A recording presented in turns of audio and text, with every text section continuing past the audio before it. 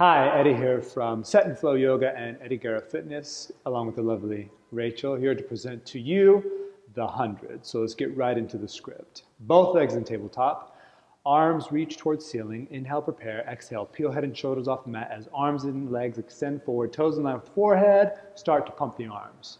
Inhale through the nose for five, exhale for five, ten times, and go. Inhale, two, three, four, five, exhale, two, three, four, one. Inhale, two, three, four, five, exhale, two, three, four, two, and relax down. So you would go all the way to 10. A couple of things to keep in point, oh, on point about this one is that the counting, it is two, three, four, five, two, three, four, one.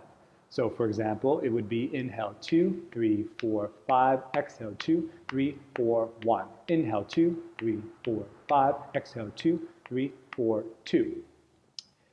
That's one way to do it. So you can keep time with the hand. Make sure that you demonstrate the breath pattern, which is, which is an inhale through the nose for five, exhale through the mouth for five.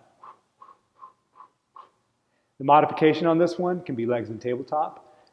Arms go overhead, inhale, prepare, exhale, peel head and shoulders off the mat, pump the arms, legs stay in tabletop, and relax back down. One other thing to keep in mind on this one is that you can count it um, inhale two, three, four, five, exhale two, three, four, one, or you can just count inhale, exhale, inhale, and exhale. So you keep time that way as well. Uh, real world teaching tip is that this is a really good one to do in the beginning of class. This is the Pilates mat one and two drill. Uh, good time to walk around the room and connect with people. You can make nice body language, big physical gestures. You know, walk around the room, breathe with people, like, and they'll smile because it's totally strange and weird.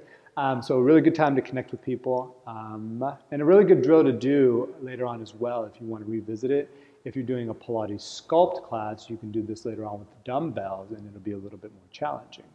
So one more time, here's your script. Again, legs, arms, and core.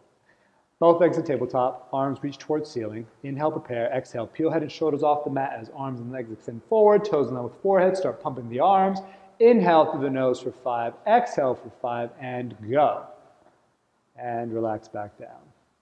See you next time where we're going to talk about coordination. Mm -hmm. All right.